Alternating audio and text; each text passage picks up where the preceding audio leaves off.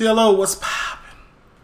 We are on Twitch. We are not live, but you can leave a like and comment, turn on post notification bells. Let's continue to grow the family from Chicago to the UK. Um, right behind me, you know, this twitch.com. If we go live and you miss it, just type in this username and you can rewind, fast forward, do your thing, man. Don't forget, we do got merch. And we also got the Patreon. We post Monday through Friday, man. I just wanted to hurry up, man. This is Swap Storiez. I believe we watched a couple things from Swap Storiez. Because I am subbed. But this, this one got me. Chicago's most vicious GDs. How one man caught 11 of them and is facing 875 years. That's tough. Let's listen to it, man, because I ain't never really seen no stories about the about the members on here. So let's check it out. Hmm? This got to be a first. Welcome back to another episode of Swap Storiez. For this video, we cover a story that you probably never heard of. As you know, the south side of Chicago has numerous stories that are always talked about. Whether it's the Oblockians, 6030ians, it'd be hard pressed for me to not hear, but I'm from here, so right. No anyway. Limit, or even 051. Obviously, these are grave situations that are constantly covered for a reason. But Chicago is a giant city, and there are plenty of situations that are equally as bad but are never talked about. And for this video, we cover probably the wildest one I've covered. Worse. Mm-hmm. There's a lot of things going on in the city, or even in the surrounding suburbs, some of the surrounding suburbs that you'll never hear about because it's not the popular people to talk about. For today, this one is crazy, trust me. But before we get into it, let me run the intro.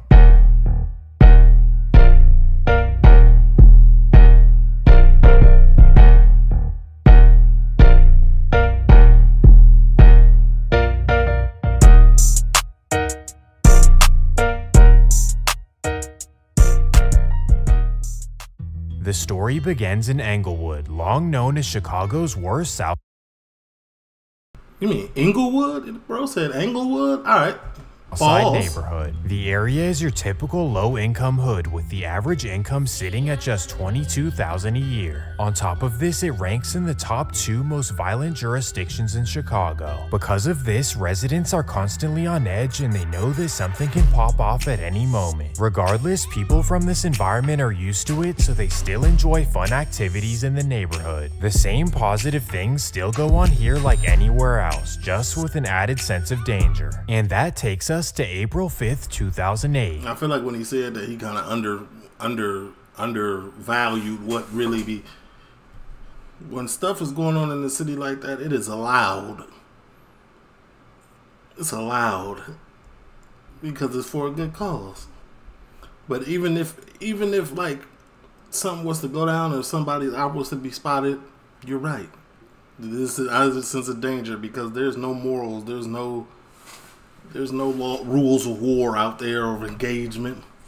It's all outlaws. Nobody has no, you know what I'm saying? So that's why they say when it's up, it's up in the Iraq. So anyway, continue.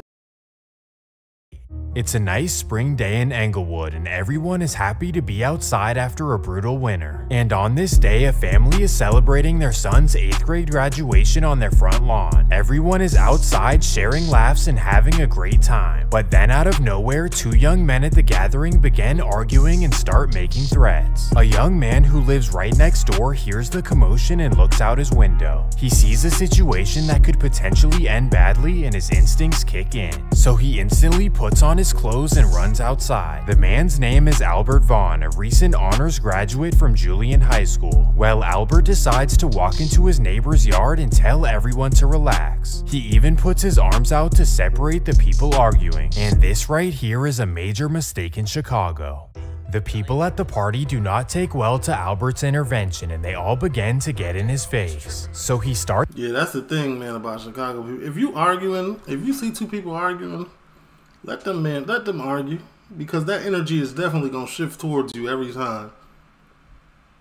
It's backing up and and they was probably homies too that was arguing. Like off their property. For whatever reason, the people follow him onto the curb and they begin to surround him. So in response, Albert picks up a wooden plank and holds it up. Even though he's just protecting himself, one of the partygoers does not like this at all. This would be 27-year-old Nathaniel Tucker, a man who had been arrested for 11 felonies in 5 years. Well, Nathaniel instantly runs inside the house looking for a man. I started at Purdue Global because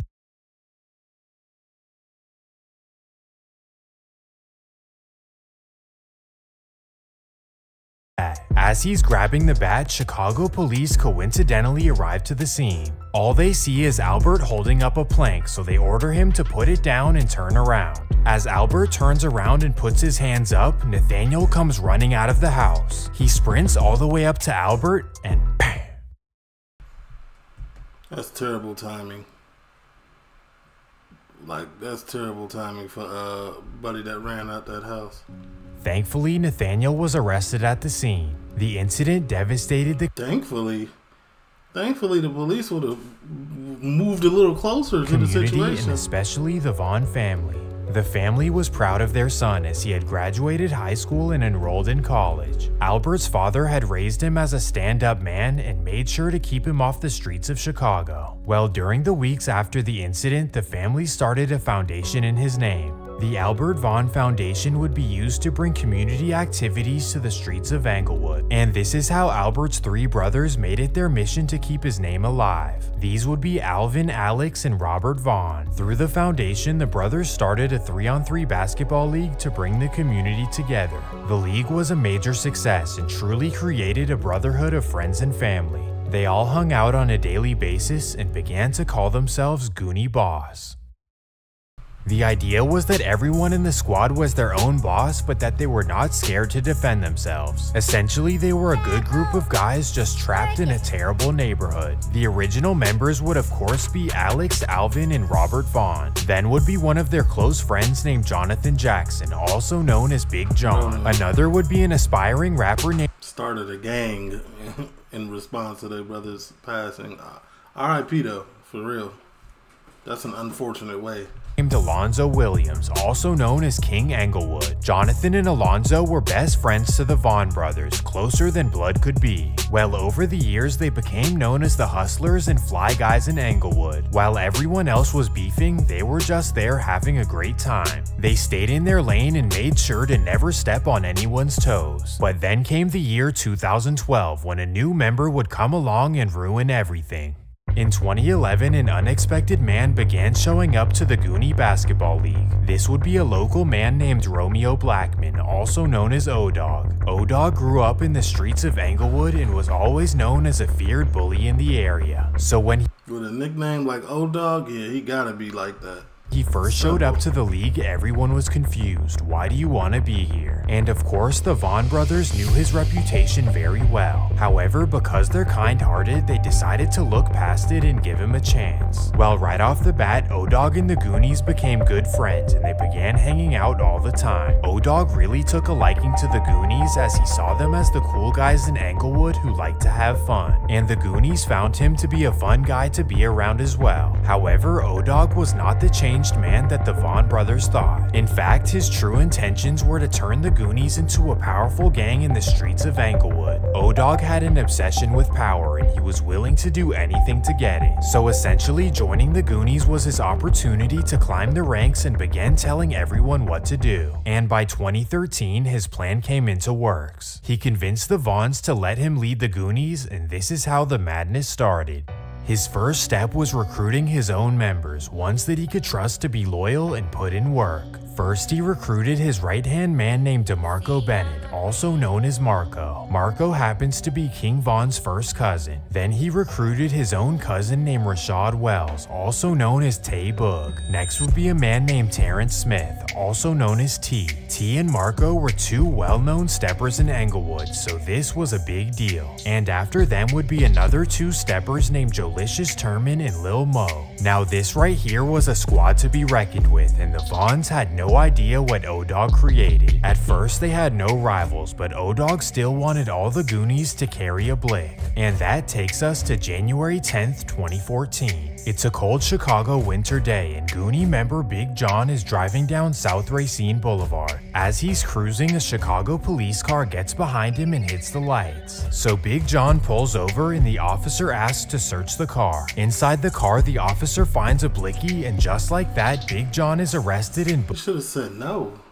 Booked into Cook County Why did he get pulled over for? Wasn't no probable cause. jail. In the state of Illinois, this is a class 4 felony, punishable by a minimum of 1 to 3 years. Of course, the Goonies Yeah, you out of there. Goonies were upset, but one to three years was not the end of the world. And just like that, one of the original Goonies was gone for the foreseeable future. Or maybe not.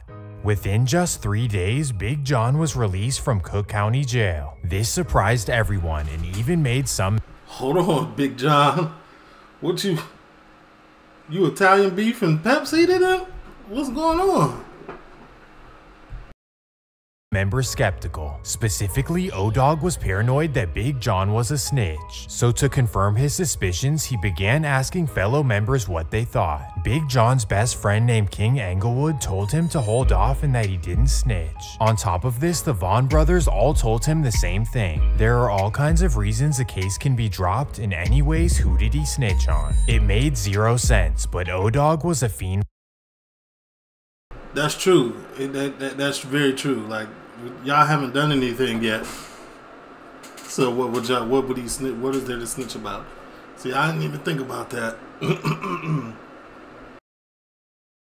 for conflict. One week later, January 22nd, 2014, O-Dog texts Big John to tell him that they need to meet up and talk. So at 4 p.m., O-Dog pulls up to Big John's apartment. He then walks inside his building and meets him in the hallway. Together, they walk upstairs to his apartment, and that's when O-Dog makes a wild decision.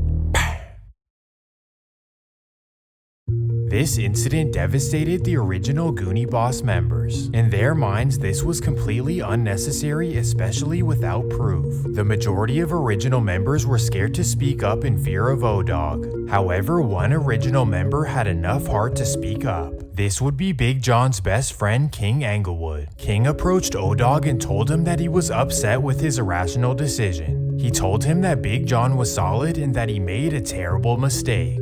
This was a bold decision, and O-Dog was furious. King Englewood was now on his list. March 21st, 2014. Mm, o Dog was wild. He didn't care about nothing. All he wanted was negativity.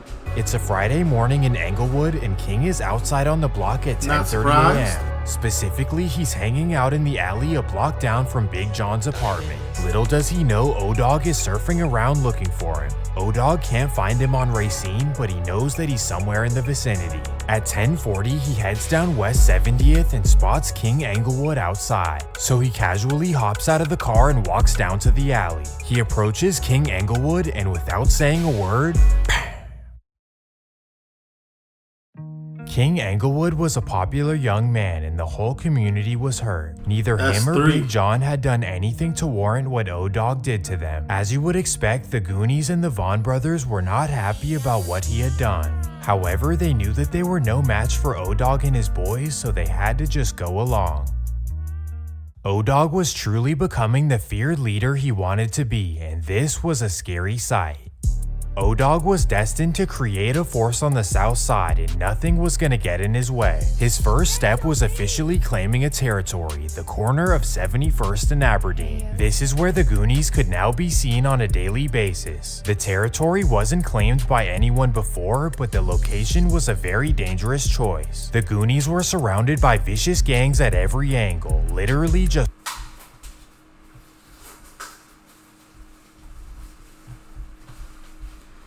He was surrounded by other GDs, and then there was some stones.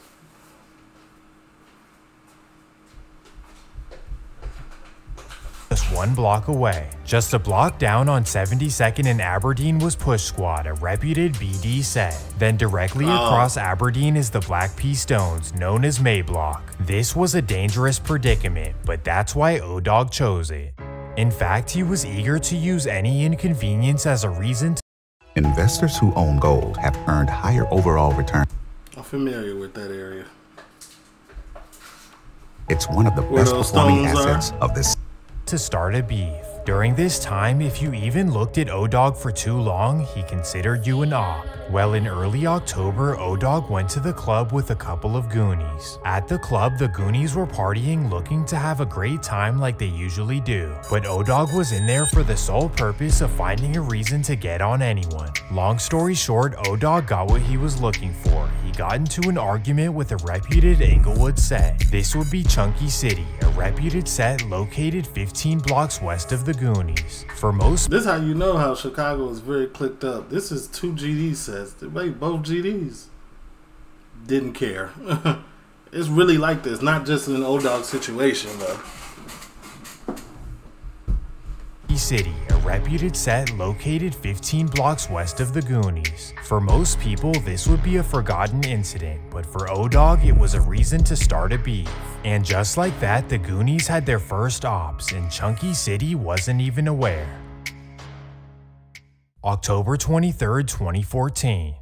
It's a regular Thursday afternoon in Englewood and the Goonies are hanging out with O-Dog. O-Dog is excited about a new member named Quante Hughes and he's eager for him to put in work. So at 6 p.m., O-Dog tells Quante about a section that he got into it with in the past weekend. He tells him that Chunky City members disrespected him and that he needs to make a statement. So Quante feels his anger and volunteers to slide. 7.20 p.m. O-Dog, Quante, and Terrence Smith hop in a Dodge Caravan and head to Chunky City. They put on their masks and gloves and begin circling the area. As they head up 72nd, they notice a man standing on the block. So instantly, O-Dog tells Quante to stop the car and let's go. They then open the doors of the van and O-Dog and Terrence hop out. The man starts running, but the Goonie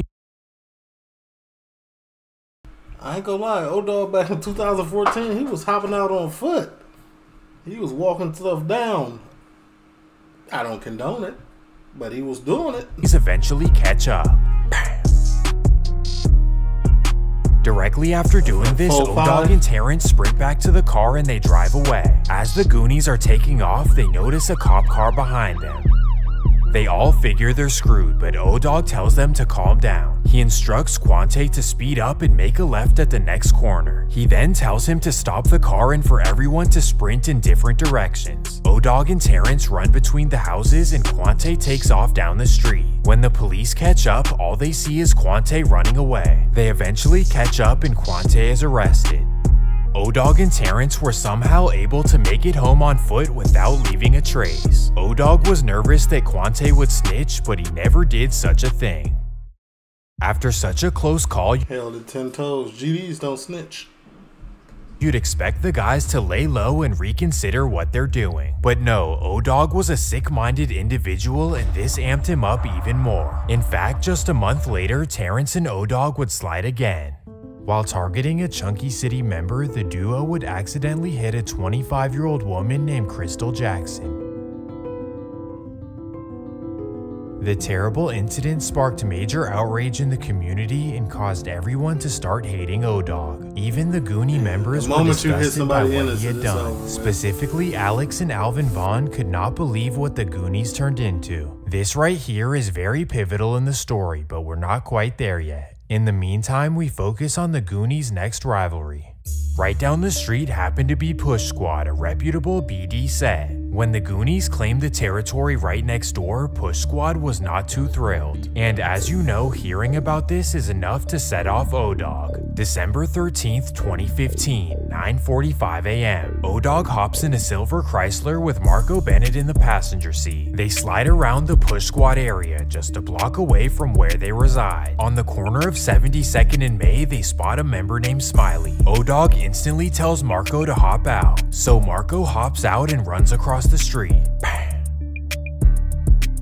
Marco runs back to the car and O-Dog speeds off. He heads north for 5 minutes until a Chicago police car gets behind him. He stays calm until the police turn on their lights and then he takes off. Once he gets some distance, he makes a right on 51st and tells Marco to hop out. Marco runs inside the nearest building and runs up the stairs. He realizes there's nowhere to go, so he throws his blicky out of the window into the backyard. He then runs back downstairs where he's surrounded by Chicago police. Just like that, Marco is arrested for evading police, and only that. And for O-Dog, he was able to get away after a short pursuit. Now you may be wondering how he got away, but this will explain it. O-Dog was only O-Dog elusive as hell. God damn. He pulled over for not using a turn signal. The officer had no clue about the incident on 72nd, so that's why police gave up on the pursuit. It simply was not worth it. And police Got only it, tied Marco it. to the incident once they discovered the blicky in the backyard. On top of this, a witness would come forward and identify Marco as the one who did it. And just like that, he was cooked.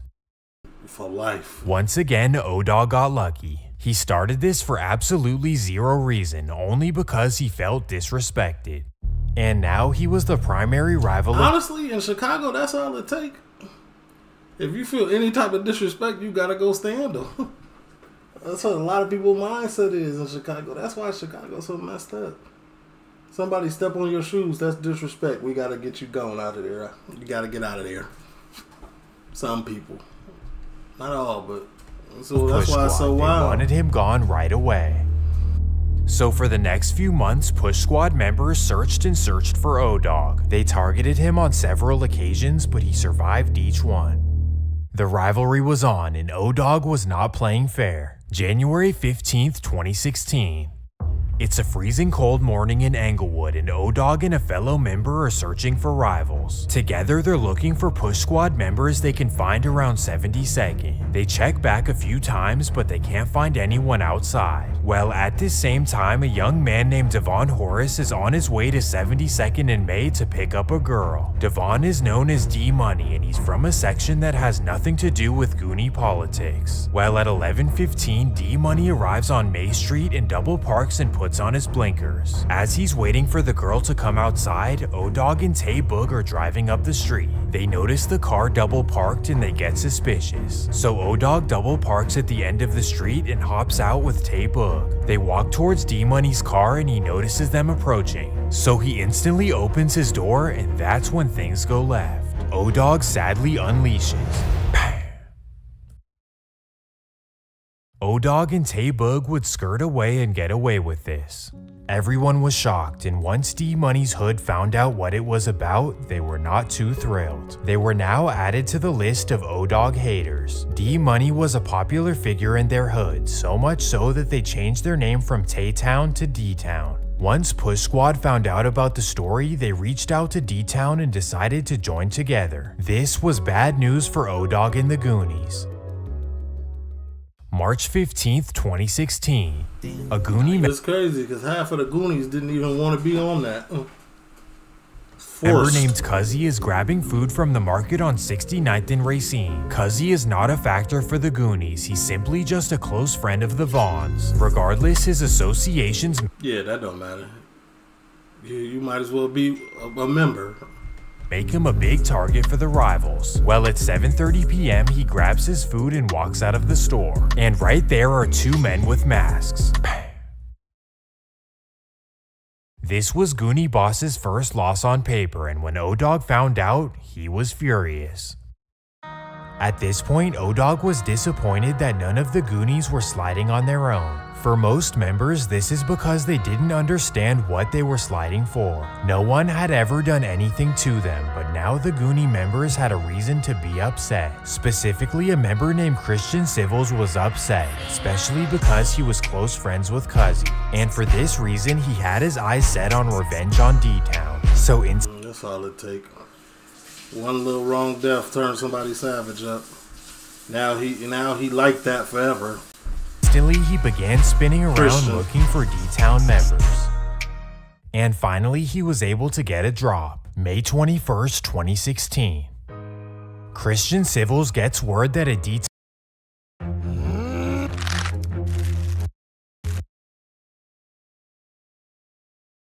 Town member is hanging out not too far from Goonie territory. Specifically, he gets word that Duke from D-Town is hanging out in Crazyville. So at 7.30 p.m., Christian heads to Crazyville looking for Duke. At 7.44, he drives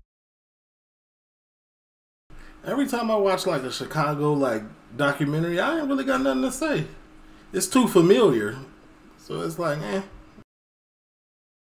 Drives down 70th and notices Duke standing outside a music video. Christian knows that there's too many people outside for him to hop out, so he makes another decision. He simply rolls down his window and bam. Sadly, five days later, O-Dog would do the same. Except this time he was looking for Push Squad, May 26, 2016, 2.45 p.m. It's a Thursday afternoon in Englewood and a Push Squad member is getting his haircut. On the south side of Chicago, barbershops are some of the most dangerous places one can be. This is because Barbershops, gas stations, corner stores, outside. Because ops can accidentally meet there, but also because you're sitting in the same spot for over an hour. While the Push Squad member happens to be getting his haircut at Powell's, a local barbershop on 63rd and May. As he's walking in the shop, a man walking out recognizes him as a Push Squad member. The man who's a friend of O-Dog texts him about what he had seen. Instantly, O-Dog leaves his house and hops in his gray Chrysler. He arrives 10 minutes later and double parks outside of the barbershop. And this is when he makes a truly devastating decision. From outside the barbershop, he simply unleashes.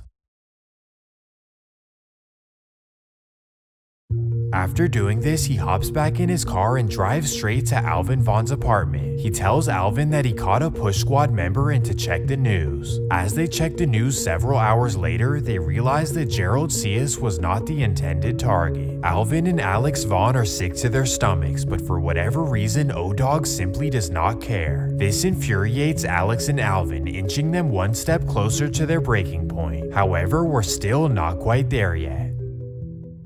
Sadly, O-Dog's madness would continue. After this wild act, O-Dog decides to take a break from the top. streets of Chicago. He decides to visit family in a small Illinois town just two hours south of Chicago. Particularly, he visits his distant cousin named Gerald Bumper, also known as Goldie. Goldie was born in Englewood, but his family moved to the small town of Streator to escape the madness. If you're unfamiliar, which you are, Streator is a small country town where nothing happens. This is where Goldie was raised from elementary I ain't gonna lie, I'm even unfamiliar. I ain't never heard of no Streator, Illinois, ever.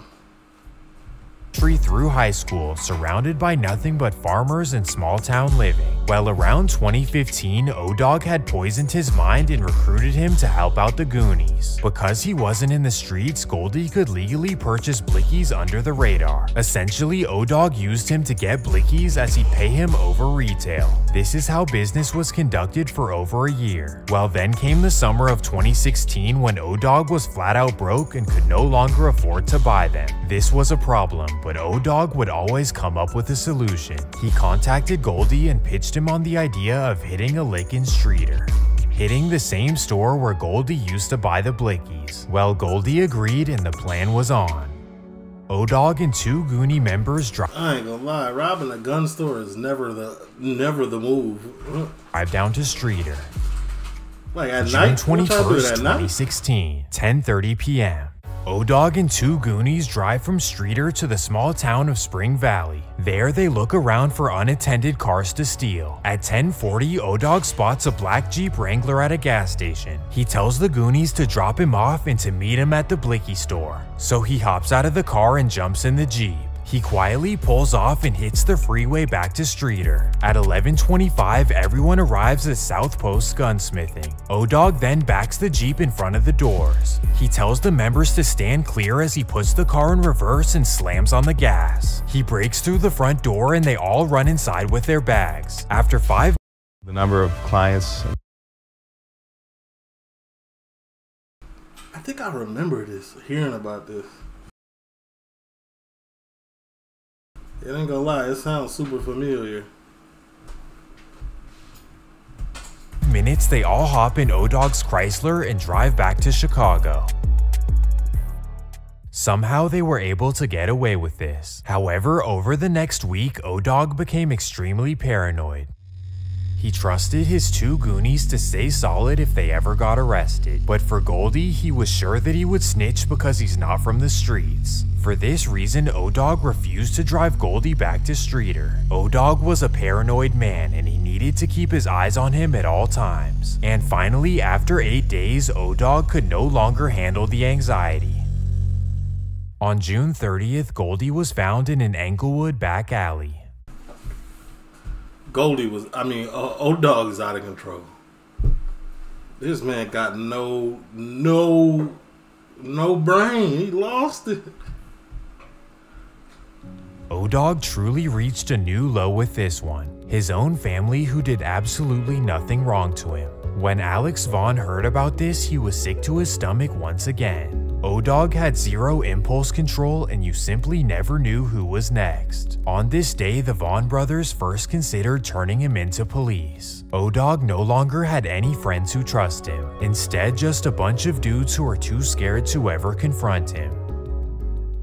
And that takes us to the next day. On June 31st, 2016, Robert Vaughn was found inside his car in Englewood.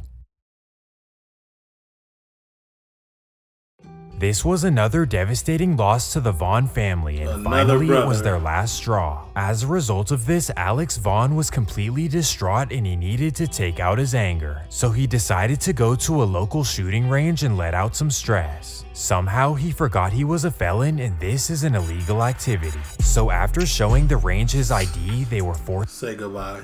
To call 911 and have him arrested. At this point, Alex is thinking that the universe is simply unfair. To lose another brother and then get locked up for something silly Hey, being locked up might have prolonged your life though. With O Dog out there, jail. Hey, jail is a preservation of life when you in the streets or somebody is on your ass. So, oh my goodness. All while O-Dog is outside destroying the universe and never facing any consequences. So after being arrested, Alex makes a very bold decision. He decides to tell police every single thing O-Dog has ever done. He even tells them how Goonie Boss started and all of the little details. He shows them the Facebook well, I'd be hard pressed to believe that he had a. He was in not in PC in jail. pages of all of the members and all of the self-incriminating posts. Essentially, he tells them the entire story of Goonie Boss, how they were initially peaceful and then how O-Dog ruined everything. This was extremely bold and Chicago police had never seen anything like it before. Yeah, even the police is astonished. Uh, He got to be in. I I don't know where he, where he at now. That's tough. That's a. It's a tough choice to make.